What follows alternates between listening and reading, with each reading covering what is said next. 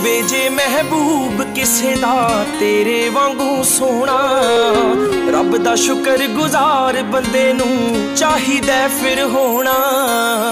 ਬੈਠੀ ਹੋਵੇ, ਕੋਲ ਵੇਖ ਕੇ ਰੂਹ ਨਾ ਰੱਜਦੀ ਹੋਵੇ। ਬੈਠੀ ਹੋਵੇ, ਕੋਲ ਵੇਖ ਕੇ ਰੂਹ ਨਾ ਰੱਜਦੀ ਹੋਵੇ। ਤੇਰੇ ਸੁਪਨੇ ਤੇਰੇ ਸੁਪਨੇ ਤੇਰੇ ਸੁਪਨੇ